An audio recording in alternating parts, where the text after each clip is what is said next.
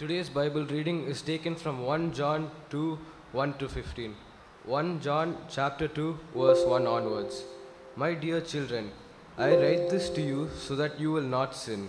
But if anybody does sin, we have an advocate with the Father, Jesus Christ, the righteous one.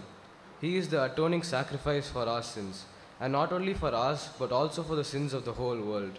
We know that we have come to know him if we keep his commands.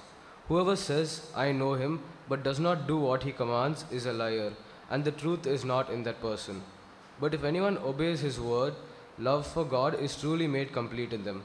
This is how we know we are in him. Whoever claims to live in him must live as Jesus did.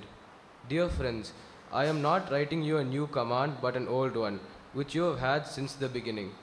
This old command is the message you have heard. Yet I am writing you a new command. Its truth is seen in him and in you, because the darkness is passing and the true light is already shining. Anyone who claims to be in the light but hates a brother or sister is still in the darkness. Anyone who loves their brother and sister lives in the light, and there is nothing in them to make them stumble.